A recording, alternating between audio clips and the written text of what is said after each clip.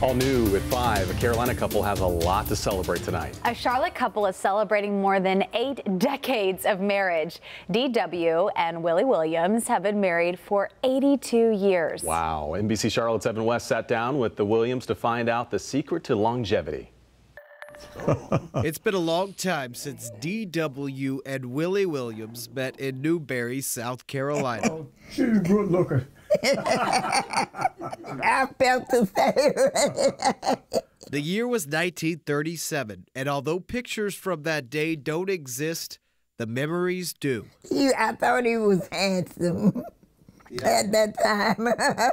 DW is now 103 years old. His bride right behind him at 100. And together they share one daughter, one granddaughter, and 82 years of marriage people might not believe, but we have never been the type that will fuss and fight.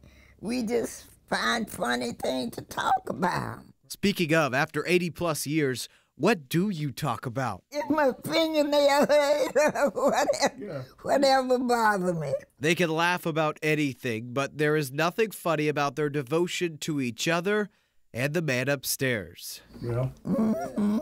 While they don't get out much, they do make it to church every Sunday in the front pew at First Mayfield Memorial Baptist.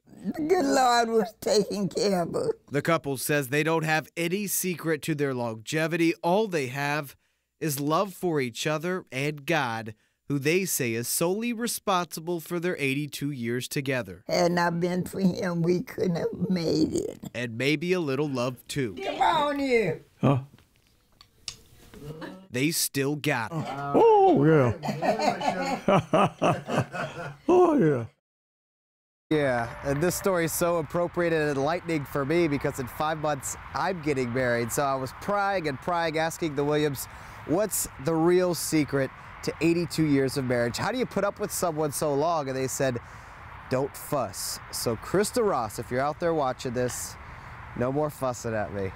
Reporting live, I'm Evan West for NBC Charlotte. I, I was going to say, I could tell everything she said he agreed with. Yeah. Mm -hmm. That is the secret. Mm -hmm. Even if she says a dog has three eyes, yeah, baby, that's right. Happy wife, happy life.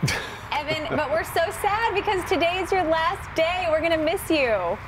I'm going to miss you guys too. Like I just said, going to get married, moving down to Charleston, South Carolina. But uh, I work with the most talented people in the biz here at WCNC, and I will miss all of you. Oh, Evan, we're going to miss you too. Yeah. Congratulations. Wish and we know best. Charleston's going to be beautiful.